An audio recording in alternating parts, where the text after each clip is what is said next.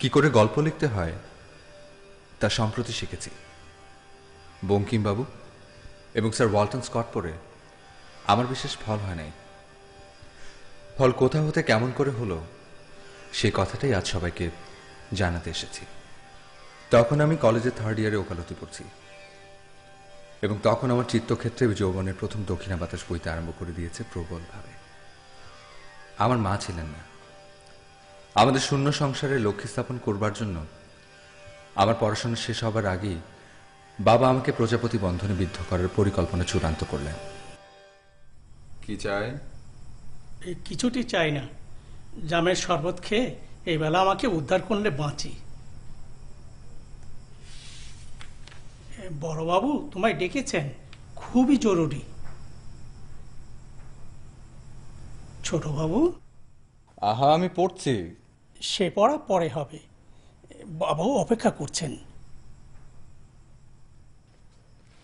এই পাতাটা শেষ করে তারপরে আসছি।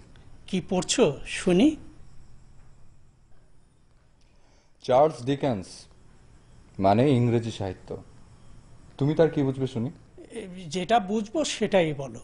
বাংলা আমি ঠিকই বুঝতে পারব। একটা কিছু শোনাও না। বাংলা সাহিত্যে আমার উৎসাহ কম।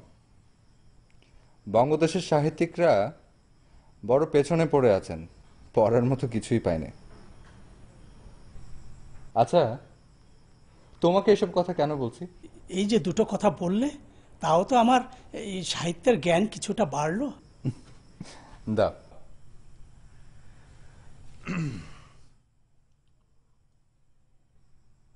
হরিশ!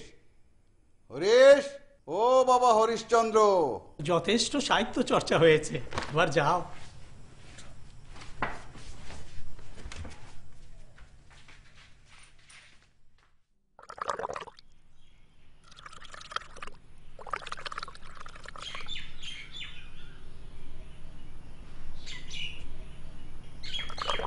আমার বিয়ে? অবশ্যই তোমার। কিন্তু বাবা লটা পাশ করে না হয় তারপর? ল পাস যথা নিয়মে যথাসময়ে করবে। ল এবং সাথে বিবাহের কোনো বিরোধ নেই বরং যোগসূত্র আছে। বিবাহতেও লয়ের প্রভূত ব্যবহার আবশ্যক। আগে। পাত্রীর নাম নির্ঝরিণী। আমার এই শূন্য সংসারে সে হবে মা লক্ষ্মী। তোমার লক্ষ্মী ছাড়া স্বভাব কিছু যদি অবশিষ্ট থাকে তা শুধরে নাও। আগে দিনক্ষণ আমি পাকা করে ফেলেছি। আগামী রবিবারে তোমার শুভ বিবাহ।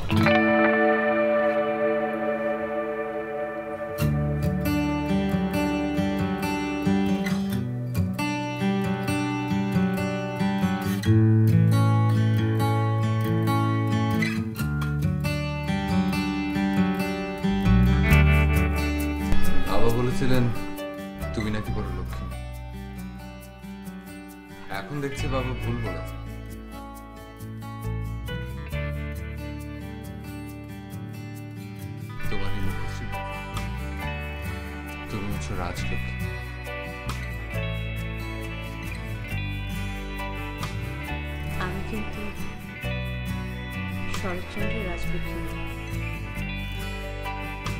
শরৎচন্দ্র বাবু তোমাদের আত্মীয় কেউ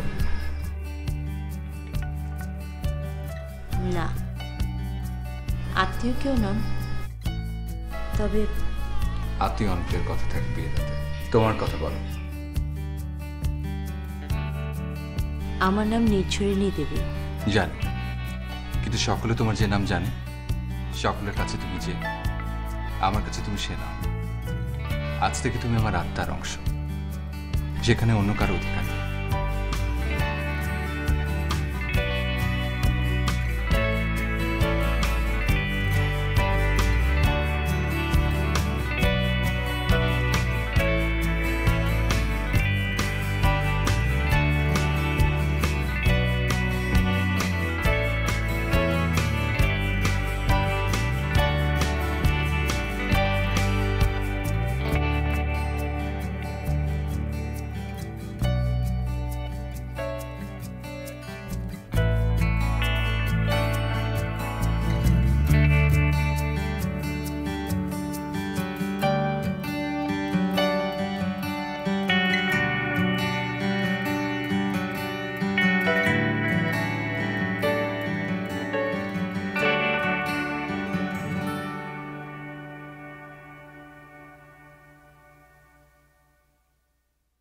আরেকটি কথা।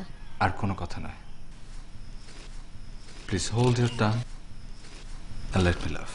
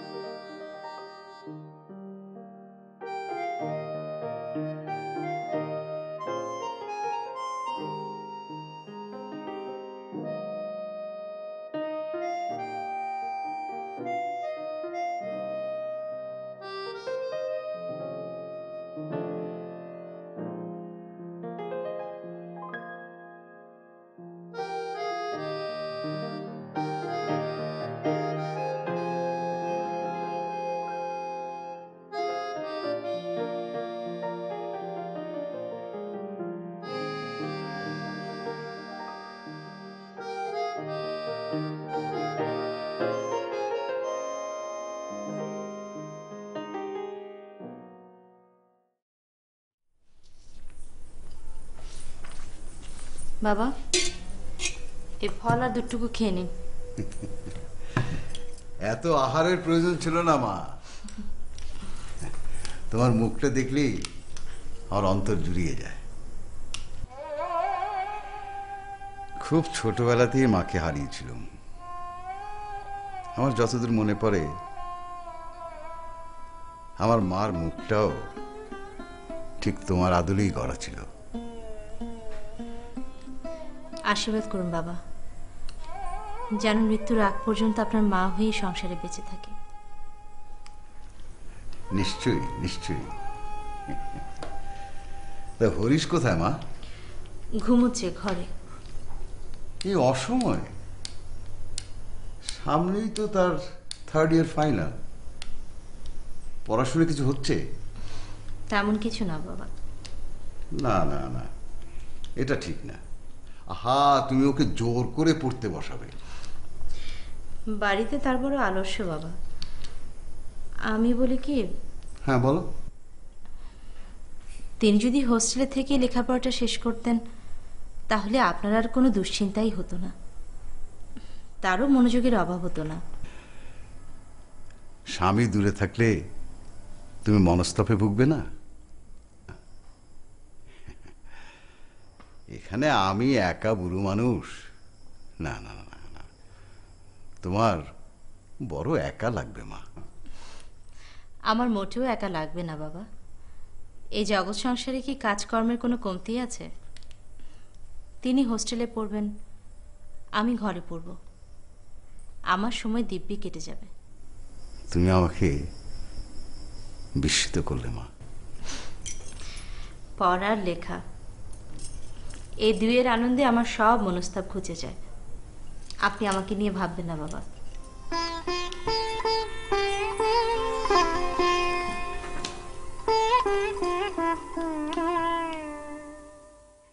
আমার জোর প্রতিবাদ বা প্রবল অনিচ্ছা সত্ত্বেও বাবা আমাকে হোস্টেলে নির্বাসিত করে দিয়ে তার বৌমাকে বাংলা লেখাপড়া শেখাতে প্রবৃত্ত হলেন। সত্যিকার অর্থে গল্পের শুরু, তারপর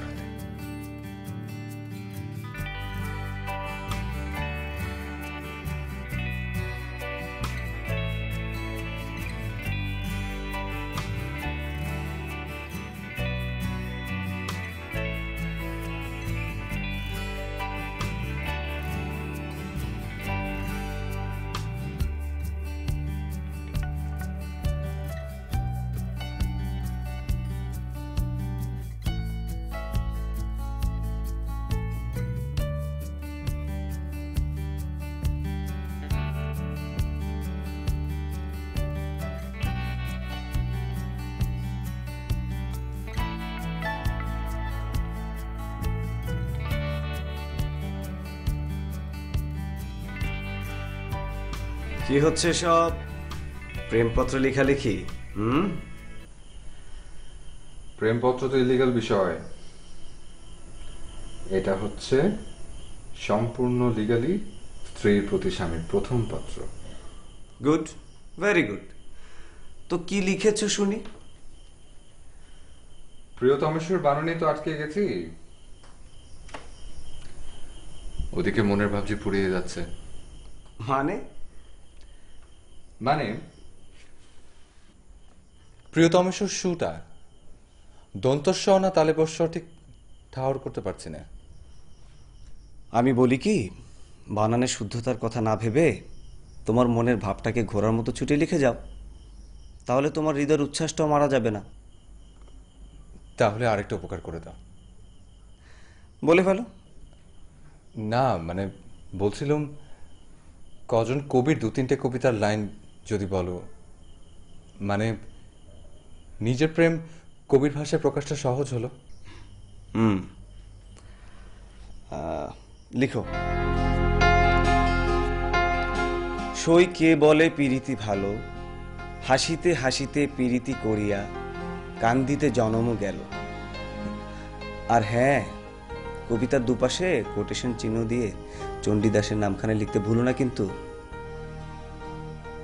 নইলে মনে হবে এ তোমারই লেখা। তা হোক না মনে। এতে প্রেমের পাশাপাশি স্বামীর প্রতি স্ত্রীর শ্রদ্ধাবোধটাও বাড়বে।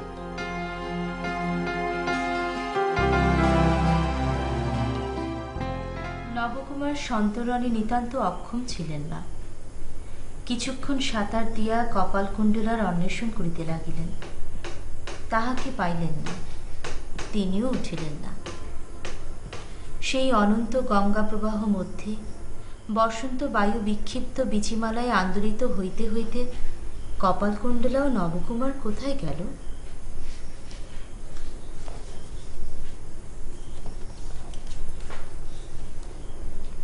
পণ্ডিত মশাই, কিছু বলছেন না যে? ইয়ে কি বলব মা? এমন অবলীলায় তুমি বঙ্কিমবাবুর লেখা পড়ো আমি আশ্চর্য হয়ে যাই। শুধু বঙ্কিম পড়লে চলবে? বসো বসো। হ্যাঁ? ওকে হেমবাবুর টিকা সহ বুঝিয়ে দিন। এগুলো সব যে আপনার বৌমা তার বাপের বাড়িতে পড়ে শেষ করেছে। এমনকি বাংলা ব্যাকরণও তার মুখস্থ হতে কিচ্ছুটি বাকি নেই। ভেতরে এমন জ্ঞান বুদ্ধি না থাকলে তার এমন প্রকাশও আমার মার আচরণই করতো না। এ না তোমার নামে চিঠি আছে। তোমার ওই লক্ষ্মী ছাড়া স্বামী লিখেছে।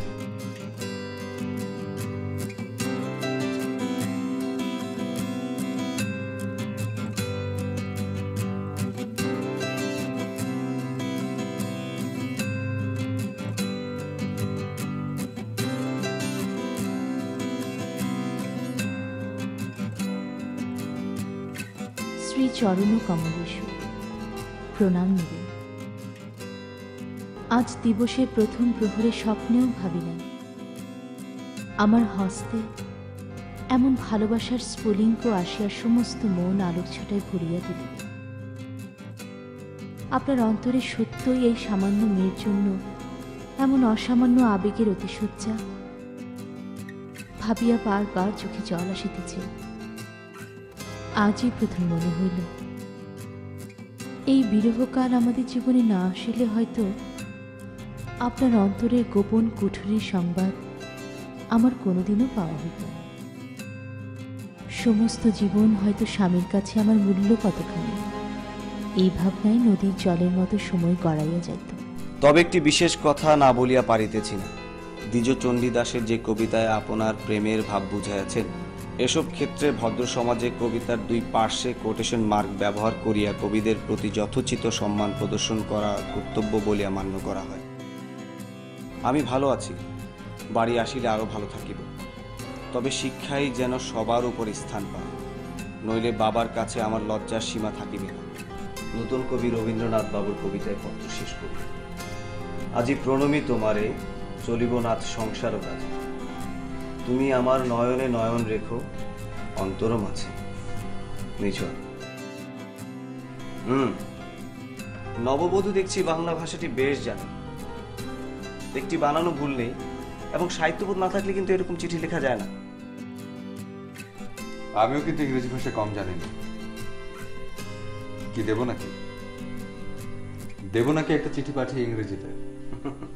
বৌদি তো ইংরেজি জানে না। সুতরাং এটা মশা মারতে কামান দাগা হয়ে যাবে না? সত্যি বলি তোমার বড় ভাগ্য তুমি এরকম স্ত্রী পেয়েছ।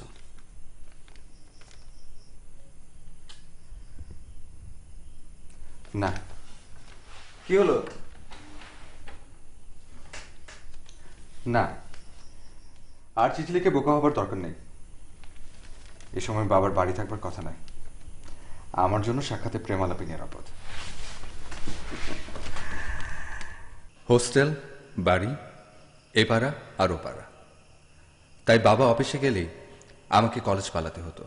এভাবেই লেখাপড়ার পাঠ শেষ হলো। ফল খারাপ হলো না। কিন্তু বাড়ি ফিরে দেখলুম এ এক অন্য নির্ঝরেনি আমার ভাগ্যে পাওয়া পত্রলেখিকা বউ একেবারে লেখিকা হয়ে উঠেছেন এতদিনে। কি আশ্চর্য। আমার তো বিশ্বাসই হচ্ছে না এটা তোমার লেখা। তা কবে থেকে লিখছো এমন? আগে ছেলেবেলা থেকে কিছু কিছু করে বাবা খুব উৎসাহ দিতেন। হরিশ কি কিছু পড়ছে মার লেখা? ওকালতি করে এত সময় পাই কোথায় আমি? বটে বটে। তা পড়লে তোমার উপকারী হতো। শোনো মা হোস্টেল থেকে একবার হরিশ আমার কাছে টাকা চেয়ে পত্র পাঠিয়েছিল। শুরুতে লিখেছিল পূজনীয় পিতা। পূজনীয় লিখেছে পয় হস্যকার দিয়ে, আর পিতা লিখেছে পয় দীর্ঘিকার দিয়ে, বোঝো?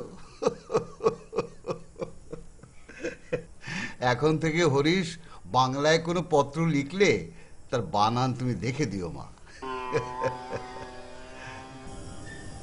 কি সুন্দর সব কথা। পড়ছি। তোমায় সাজাবো যতনে। কুসুমে রতনে কেউর কঙ্কনে কুমকুমে চন্দনে। চমৎকার। হরিশ লেখাগুলো পড়ে ফেলা তোমার অবশ্য কর্তব্য।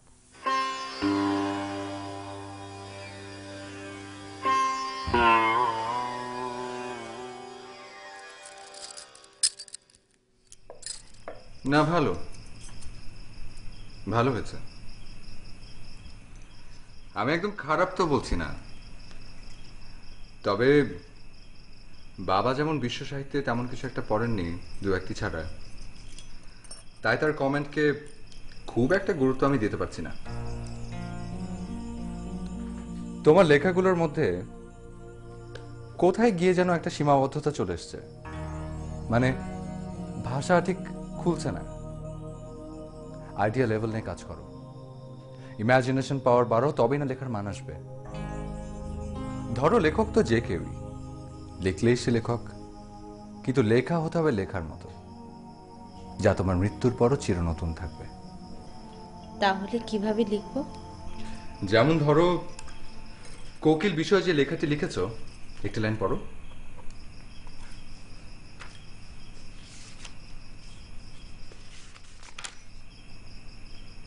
কোকিলে কুহতান, আমার মনকে যেন শরতের মেঘের মতন ভাসাইয়া নিয়া চলে, দূর হতে বহু দূরে। কোন এক কুলহীন অনন্ত মহাসাগর তীরে। কিছুই হয়নি। এখন যদি তুমি শেলির স্কাইলার্ক পড়ো, বা কিটসের নাইটিঙ্গেল পড়ো, দেখবে কি অসাধারণ সব লেখা। কি আছে ওতে?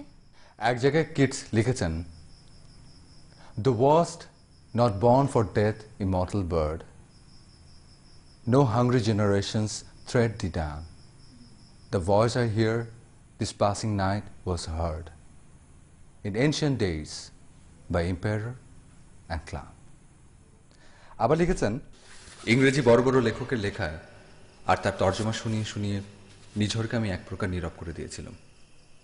বাবা যতই উৎসাহ দিতেন, আমি নির্বিচারে তার লেখার ত্রুটি দেখিয়ে তাকে সংযত করেছি। তাতে তার প্রতিভা কতটুকু ম্লান হলো, তা দেখার প্রয়োজন আছে বলে মোটেই মনে করিনি। আমার বন্ধু, ভূপতির একটা প্রিন্টিং প্রেস আছে। কাগজও বের করে সে। মার লেখা পড়ে ভূপতি অভিভূত। আমি চাই তোমার লেখা কাগজে ছাপা হোক। ঘরের লক্ষ্মী রাধা এবং চুল বাঁধার পাশাপাশি জ্ঞান চর্চায় কত দূর এগিয়েছে তা সবাই জানো। কিন্তু বাবা নিঝড় কি তাতে রাজি হবে? তুমি আগে আগে কথা বলছো কেন? ওকে বলতে দাও। না বাবা দরকার নেই। শেষে শুধু শুধু সকলেই হাসাহাসি করবে। কেন? হাসাহাসি করবে কেন? আপনারা আমাকে অধিক স্নেহ করেন বলেই আমার লেখা আপনাদের কাছে এত ভালো লাগে। আমার মতো মেয়ের তুলনায় হয়তো সেগুলো এক অর্থে ভালোই। কিন্তু কিন্তু বাবা যারা শেক্সপিয়ার বায়রন শেলি কিংবা কোলিস পড়েছে তাদের কাছে তো সব টিকবেই না। শেষে বেচারি লজ্জায় পড়বে। বিচার বিবেচনায় তোমার বুদ্ধি যে শ্রেষ্ঠ এমন ভাবছ কেন? আমাদেরও বিচার শক্তি কিছু কম নেই। না বাবা থাক। আমি ঘরে বসেই মনের কথা লিখি। সেসব ঘরেই থাক। আপনার ছেলে ঠিকই বলেছে। শেষে সকলে হাসাহাসি করবে। কাগজ আমি লেখা ছাপতে না দিলেও কিন্তু আত্মীয় বন্ধু ও অনাত্মীয় মহলে নিঝরে লেখা প্রচার বন্ধ করতে পারা গেল না। এবং এর কুফল কিছুদিন পর হতে পেতে শুরু করল।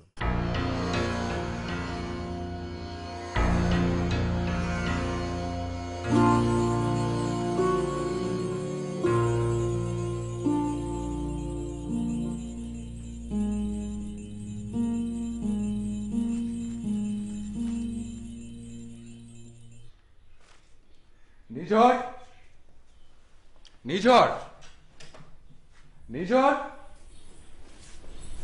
কি হয়েছে গো? কি হয়েছে সে খেয়াল রাখো তুমি?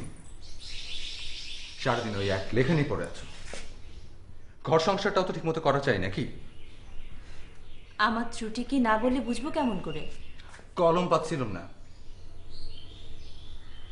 এখন নতুন কেসের ফাইলগুলো খুঁজে পাচ্ছি না। এ কেমন বাড়ি? কেন? ফাইলগুলো তো টেবিল উপরে ছিল। মোটেই না। টেবিলের উপর যত সব কাটাকুটি অর্থ লেখার কাগজ। তুমি লিখবে ভালো কথা। তারপর আমার কাজের ফাইলগুলোকে তো সমানের চোখে দেখবে নাকি?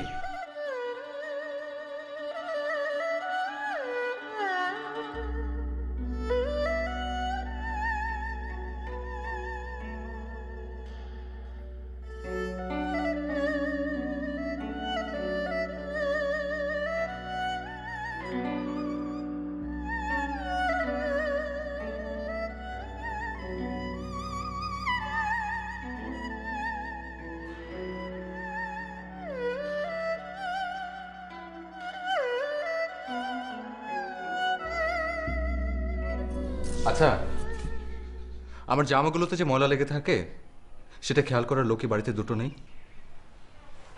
সারাদিন ভদ্রলোকের সাথে ওঠা বসা করি। অথচ দেখো জামার কলা থেকে কীরকম ঘামের দুর্গন্ধ বেরোচ্ছে।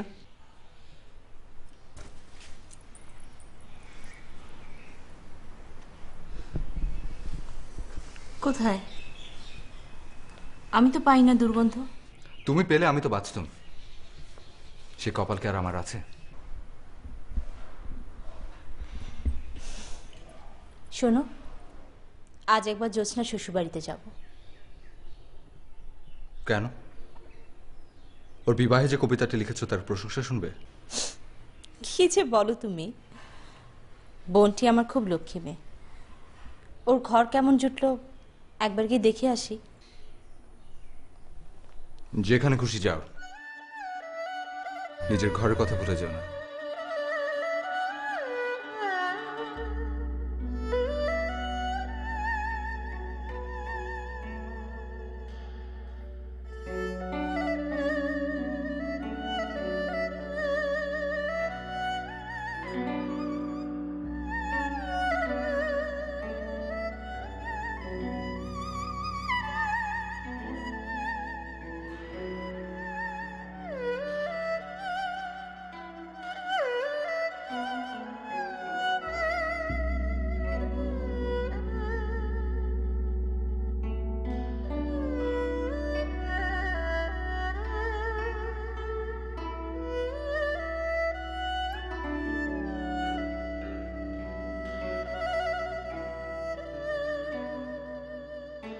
লেখালেখি বন্ধ যে খুব।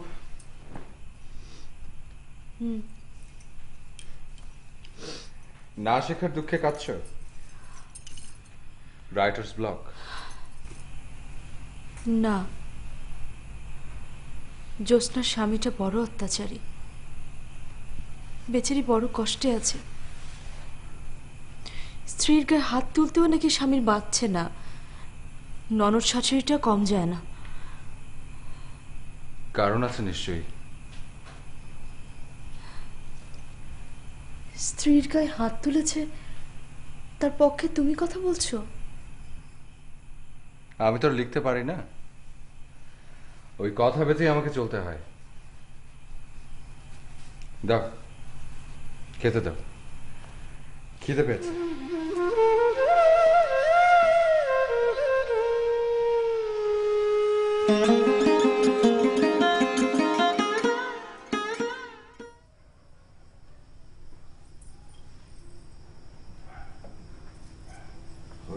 মা সে আজ অনেক সকাল সকাল বেরিয়ে পড়েছে।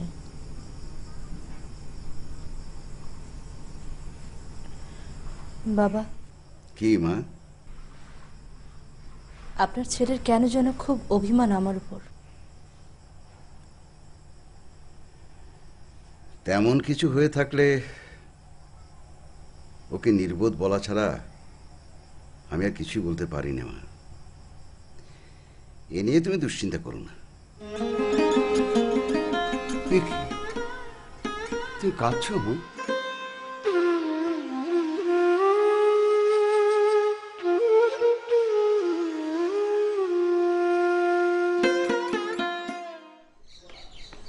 নমস্কার। নমস্কার। আপনি আমি প্রভাতী কাগজ থেকে এসেছি। আপনি কি শ্রীমতী নির্ঝরিণী দেবীর স্বামী? আমি তার স্বামী কিনা জানি না। কিন্তু তিনি আমার স্ত্রী বটে। বলছিলাম তার একটা লেখা। আমি প্রভাতীতে ছাপতে চাই। আপনি আসুন আমার হাতে কাজ রয়েছে। শুধু একবার তার সঙ্গে যোগাযোগ বা তার একটা লেখা যদি বললাম তো আপনি আসুন। আমার হাতে কাজ রয়েছে। অপমান যখন করলেনই তখন শুনুন। আপনার কাজের কোনো নাম রাখতো শহরে শুনিনি। মানুষ যতটুকু আপনার কাছে আসে বোধ করি তা আপনার স্ত্রীর খ্যাতির কারণেই। এই খবরও আমার কাছে আছে গত পাঁচটি কেসের একটিতে আপনি লড়ে জয়ী হননি। জয়ের মালায় আপনি নিজেকে জয়ী ভাবছেন তা বোধ করি আপনার নয় আপনার স্ত্রীর।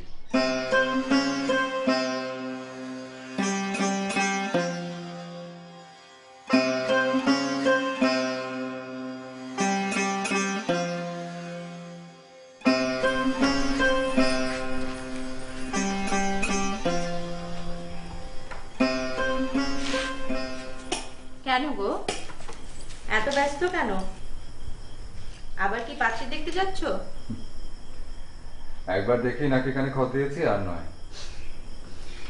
তবে এত সাজসজ্জার তারা যে? ক্লাবে বঙ্গদেশের সাহিত্যের ইতিহাসের উপর বক্তৃতা দেবার কথা আছে। আমার কি আর বসে থাকার ফুসরত আছে? নানান মানুষের নানান বায়না। না না সেখানে তুমি কোনোভাবেই যেতে পারবে না। রাজপুত নারী স্বামীকে যুদ্ধ সাজ করে রণক্ষেত্রে পাঠাতো আর তুমি? আমাকে বক্তৃতা সভায় যেতে দেবে না। ইংরেজি সাহিত্য হলে এত ভয় পেতাম না। কিন্তু সেখানে অনেক লোক আসবে। তোমার অভ্যেস নেই। আচ্ছা তুমি কি মনে করো? তুমি বাইরে যাবে না। এটাই আমার শেষ কথা। এত ভয় কিসের? আমি কি কালিদাসের চর্যাপদ আলোলের মধ্যবর্তিনী অথবা মধুসূদনের সেই মেঘমল্লারের কাব্য এসব জানি না? আজ আমার শরীরটা ভালো নেই। জ্বর জ্বর। তুমি বাইরে যাবে না। এই আমার দিব্যি। তা অবশ্য তোমার মুখটা কেমন লাল যেন লাগছে। সেই লাল ভাব বোধ হয় সভায় আমার দুরবস্থা কল্পনা করে লজ্জায়। যাক, আমি ক্লাবের সেক্রেটারিকে না করে দিলুম, ক্ষমা চেয়ে নিয়ে। নিজেও যেন কোথাও হতে নিষ্কৃতি পেলুম জানি না কিন্তু মন বলছিল আমার বাংলা বিদ্যা সম্বন্ধে স্ত্রীর মনের এই সংশয়ভাব যেভাবেই হোক দূর করতে হবে। নইলে কোনোদিন হয়তো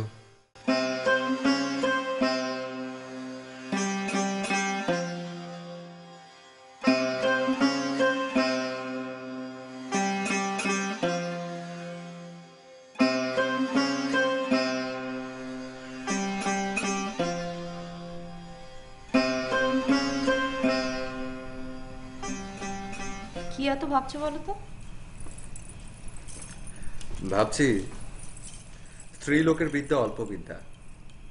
আর জানো তো অল্প বিদ্যা ভয়ঙ্কর। লেখার যোগ্য কোনো লেখা কোনো দেশে কিন্তু কোনোদিন কোনো স্ত্রীলোক লেখেন নাই। কেন? মেয়েরা কি এতটাই হীন? অবশ্যই লিখেছে। দৃষ্টান্ত দেখাও। কেন? ওই শেলি নামের মহিলাটি? যে ইংরেজিতে কবিতা লেখে? শেলি কোনো মহিলা নন তিনিও পুরুষ রোমান্টিক কবি। তোমার মতো ইতিহাস পড়া থাকলে আমিও তোমাকে ঢের দৃষ্টান্ত দেখাতে পারতাম। লাভ হতো না। ইতিহাসে লেখিকা হিসেবে সত্যই কোনো নারীর নাম নেই।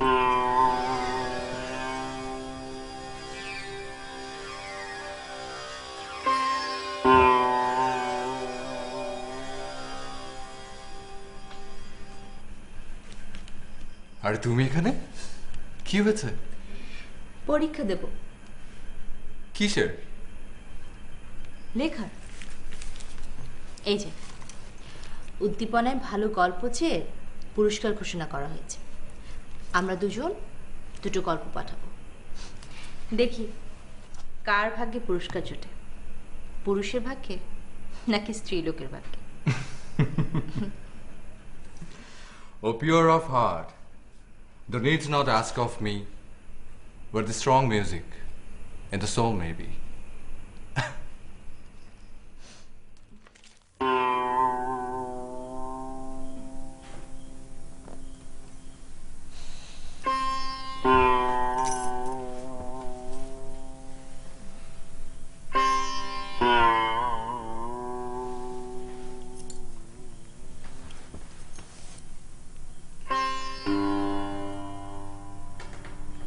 মাথা খাও।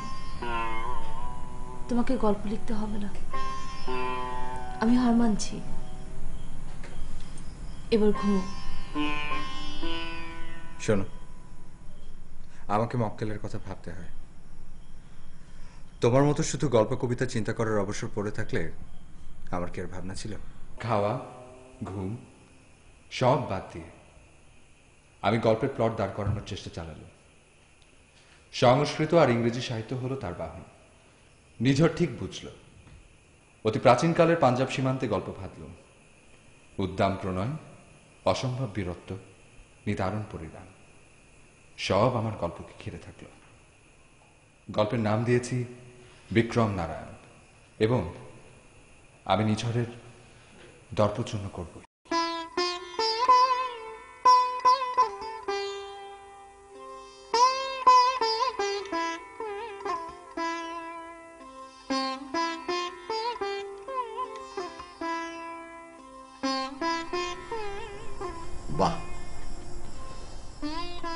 বেঁচে থাকো মা।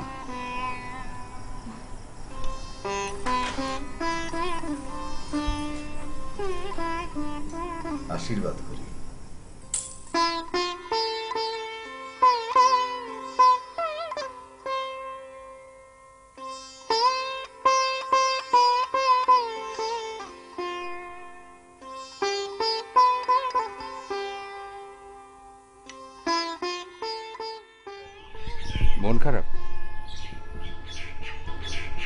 দুশ্চিন্তা হচ্ছে? তা কেন? তোমার জন্য কিন্তু খুব মায়া হচ্ছে নিঝর। ইংরেজি সাহিত্য তুমি কিছু পড়নি। আইডিয়াটা তোমার খুব সংকীর্ণ। কাক কোকিল থেকে ওই উঠোন পর্যন্ত। আমার সাথে গল্প লেখার লড়াই তুমি না নামলেই পারতে। নিতান্ত অসম কক্ষের লড়াই।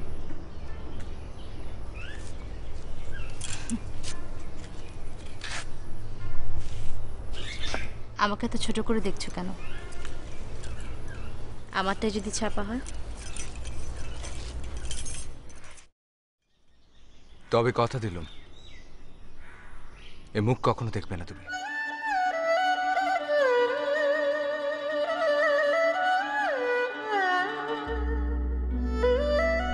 এ কি বলে তুমি? এপন কেন করলে?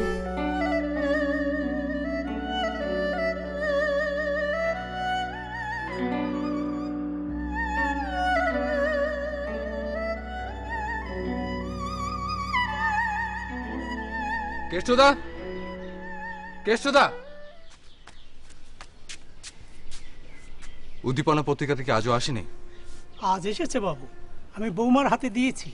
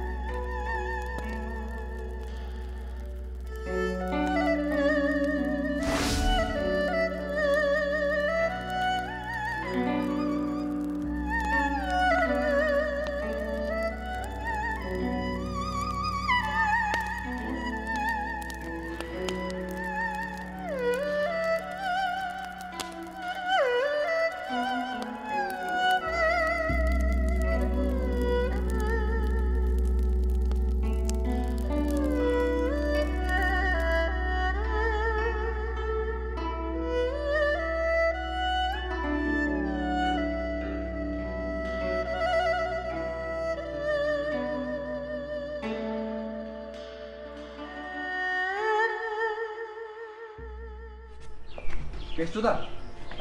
কেষ্টদা?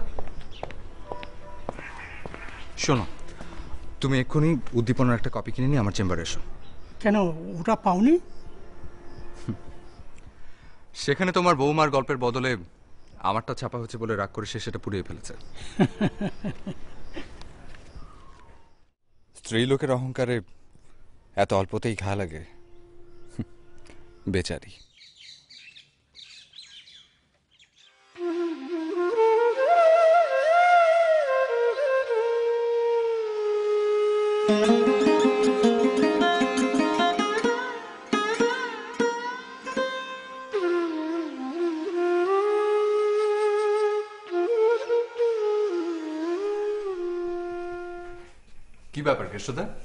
এত দেরি করলে যে? এই তোমার নামে কোনো লেখা তো এখানে পেলুম না। তবে বৌমার নামেই এখানে একটা গল্প ছাপা হয়েছে। কি? কে বললে?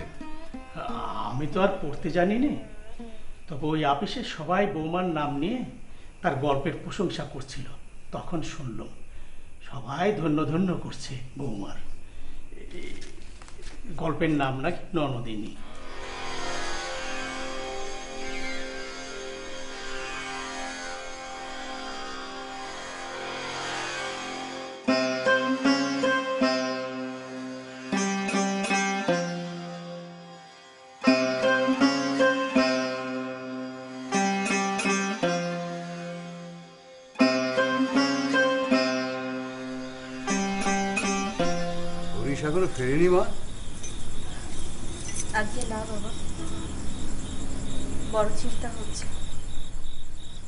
চিন্তা করো না চলে আসবে।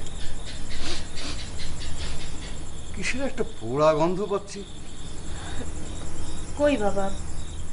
আমি তো তেমন কোনো গন্ধ পাচ্ছি না। আশেপাশে কেউ কিছু পোড়াচ্ছে হয়তো। কি জানি মা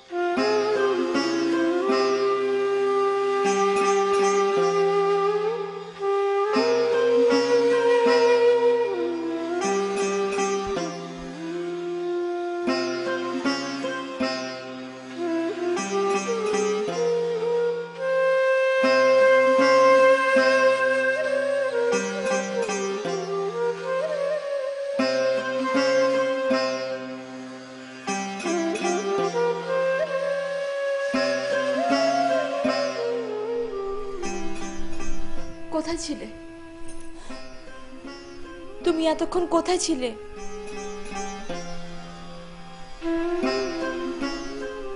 নিঝর তোমার লেখার খাতাগুলো আমায় দাও তো। কেন? কি করবে? ছাপতে দেবো।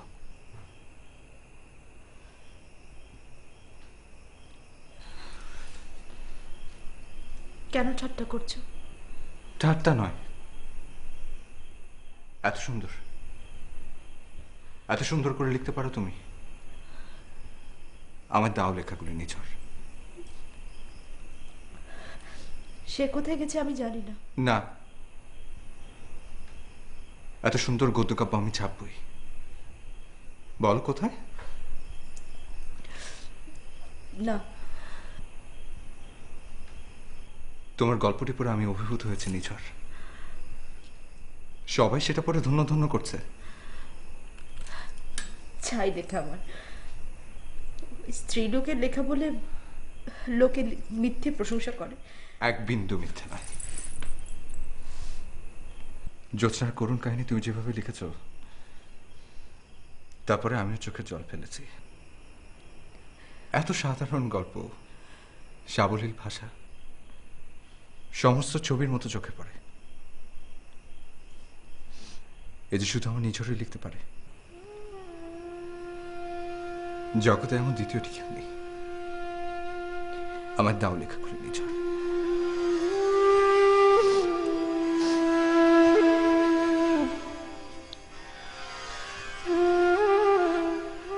আমি পুড়িয়ে ফেলেছি। কি? কবে?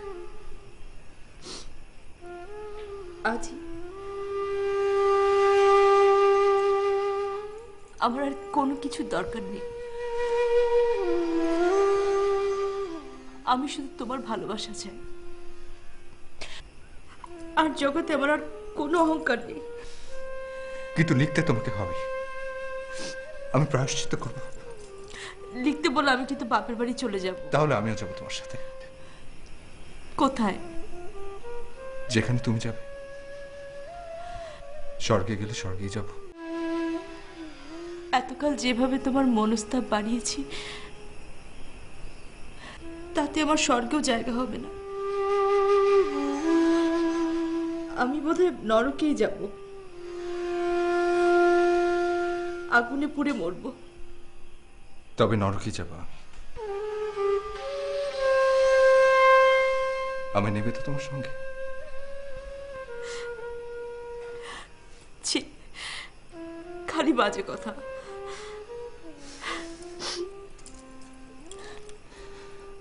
এই আমার গল্প শেখার গল্প। এরপর হতে এ পর্যন্ত নিজরকে সাধ্য সাধনা করেও একছত্র কিছু লেখাতে পারি নাই। আপনারা যদি পারেন, আমি তবে চিরকৃতজ্ঞ থাকব।